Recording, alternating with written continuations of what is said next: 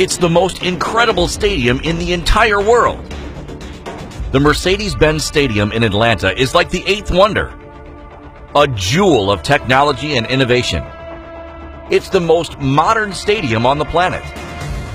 What makes it unique is its impressive retractable roof, which was recently installed.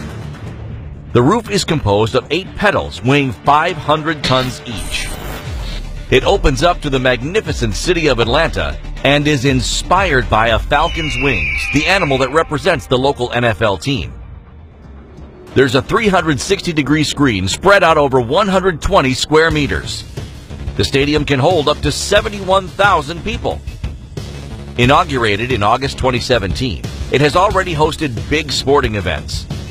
Construction started in May 2014, and it ended up costing the enormous sum of $1.5 billion.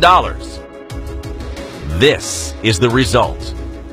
In 2026, the Mercedes-Benz Stadium will be one of the main stadiums for the World Cup, which will be hosted by the USA, Mexico, and Canada.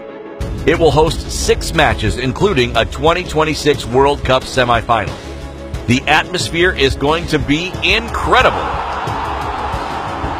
The young football prodigy, Kylian Mbappe, Marco Asensio, Vinicius Jr., and Christian Pulisic will captivate the audience because they'll be in their prime in 2026.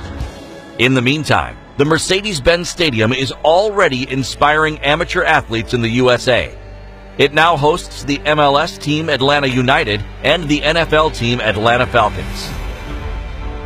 The roof was inaugurated at the end of July 2018, and 60,000 curious fans were present for the Falcons' first training session. The 2019 Super Bowl will also take place in this incredible arena along with the biggest concerts. But that's not all. People who visit the stadium outside of matches can walk on the roof for an incredible view of Atlanta. They can also walk along suspended bridges in the stadium or enjoy one of their restaurants. Lastly, the Mercedes-Benz Stadium has already broken a record. It's officially the most eco-friendly stadium in the world, with 4,000 solar panels among other features.